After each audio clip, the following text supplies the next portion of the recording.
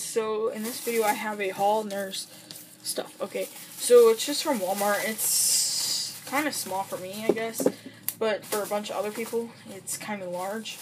So yeah, I'm just gonna show you what all I got. So let me take it all out because uh, there's a lot. Well, I mean, a lot in this one bag because I crammed it all in one bag. Because why not?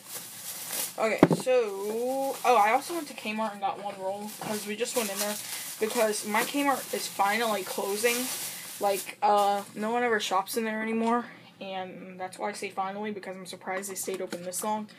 So we just went in there to see what kind of deals they had, and it's only 10 to 30% off because it's not closing till September.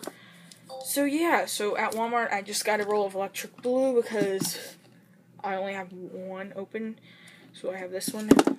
And then I got um four rolls of butterfly. There's four just because I was running low because I sell on eBay and all. Um, then I got a roll of 55 yards of gray because I use this in my wallets a lot and I had this much left. Let's see, it's like maybe more than I thought. Oh, that much. Okay. So let's just take this and just there.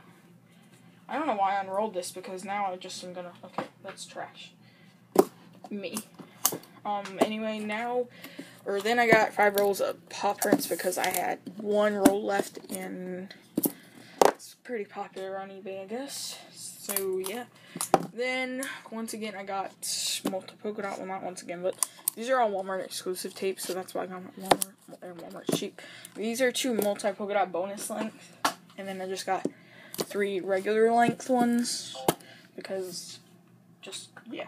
And then at Walmart they have a three for nine bin, another smaller bin, the hardware section and the craft section, and all four of those sections they didn't seem to have an orange. Well, they didn't have an orange, which I find weird. But so I just got one at Kmart. It was twenty five percent off, and their tape is normally four forty nine at mine, so it made it three thirty six. Walmart right now is on rollback for three dollars, but I didn't mind. I would have paid four forty nine, but yeah. So that's basically it for this video. Uh, just wanted to post something on this channel, so yeah, that's it. Bye.